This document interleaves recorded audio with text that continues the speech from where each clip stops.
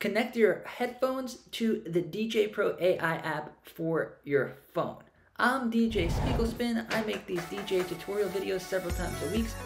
So if you're DJing, you're gonna wanna use your headphones for various different reasons. And it may seem difficult because the phones now only have one port for charging. So you're gonna need a couple of things in order to do this.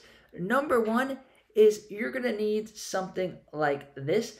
This just connects into your charge port and allows you to put an audio cable in, like back in the day when we actually had an audio port in our iPhones. And then you are gonna need one of these. This is a splitter cable, so this part goes into here and then one of these is our main output. And then one of these is for our headphones. So you're also going to have to change some settings within the djay Pro AI app.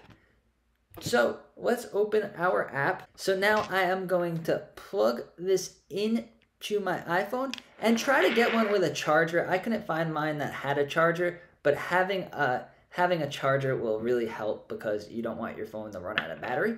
So I am going to connect this into my iPhone.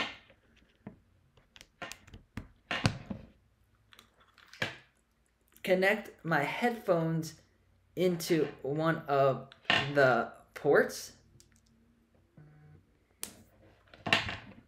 And then now I am going to go to the middle button go to settings and now they changed this with the new update so it is going to be a little bit more difficult to find but i'm here to help now we're going to go over here to audio device setup and then we're going to go down the pre-cueing and then it's going to be automatically in none and what we're going to want to do is switch that to split output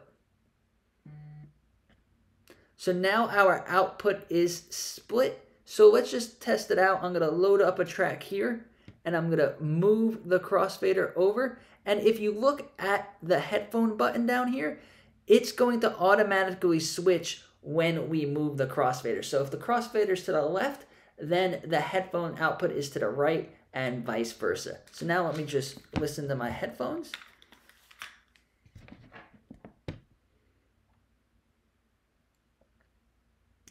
and now I can hear my pre-cueing through my headphones. So it's really that simple. All you need is a way to plug in your headphones to your a way to plug in an audio cable to your phone, which is going to be one of these. They do make them with chargers. Please get one with a charger to avoid running out of power.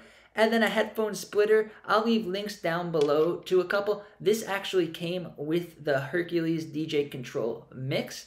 So if you want to get that controller, it comes with one. And if you are a little bit overwhelmed by the amount of adapters, then a really easy solution for you would be to get a controller like this. I will leave a link down below. It's the Numark DJ2Go2 Touch, and it has a built-in sound card. So this connects to your phone or your iPad, and then you can simply plug in your headphones. You see the headphone symbol there. Headphones go in here. And then the main output goes out here.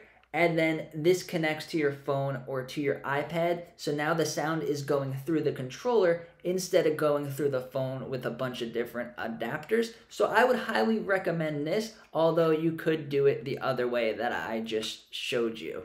And to learn more about using headphones with djay Pro AI, check out one of these videos where I go a little bit more deeply into it. Thanks for watching and subscribe to the channel if you found value. And also if you want, if you click the link down below, you can book a Zoom call with me and I can answer any of your specific questions about controllers and about anything with djay Pro AI. Thanks for watching.